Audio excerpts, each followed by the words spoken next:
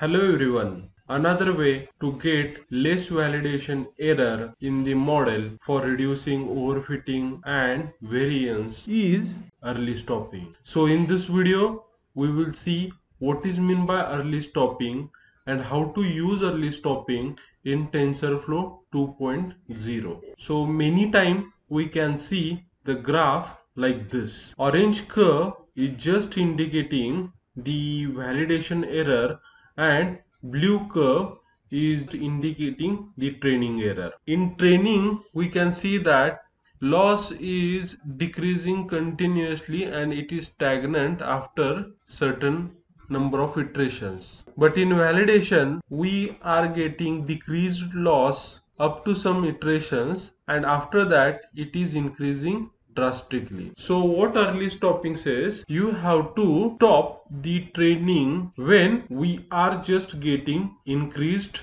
validation error. Means we have to stop somewhere here. Thus we will get the reduced validation error for the model and our model will not overfit in such cases. Now let's see how to use early stopping in TensorFlow 2.0.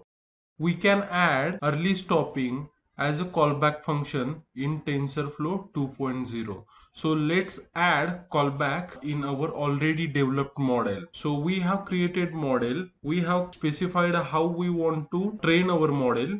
Now after that we have to specify a callback function for early stopping. We have to use tf.keras.callbacks and from callbacks we are interested in early stopping. Okay, so this is the callback early stopping.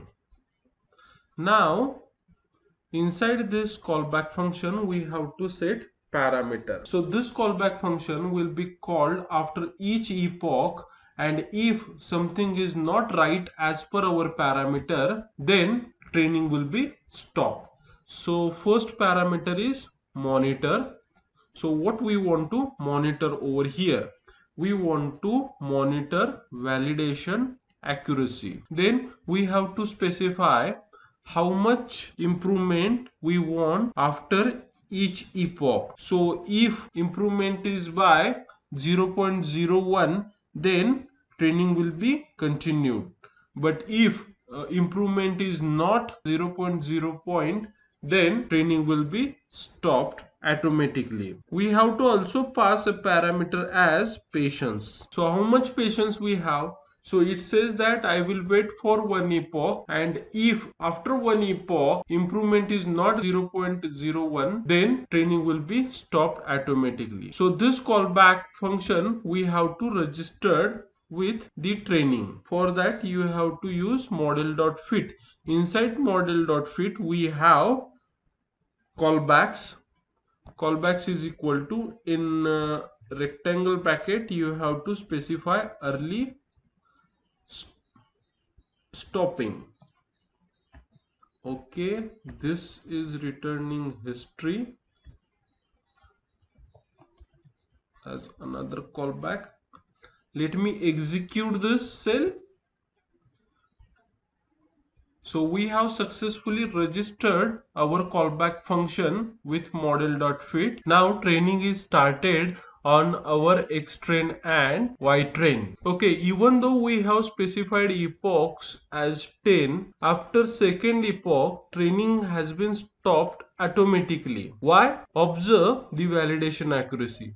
Here validation accuracy after first epoch is 0.9807 in second epoch we are getting accuracy as 0.9790 so we can observe that validation accuracy is dropped by 0.01 and it is contradictory with our parameter. That's why training is stopped over here. This is called as early stopping. I hope you are getting how to work with early stopping. Thank you for watching the video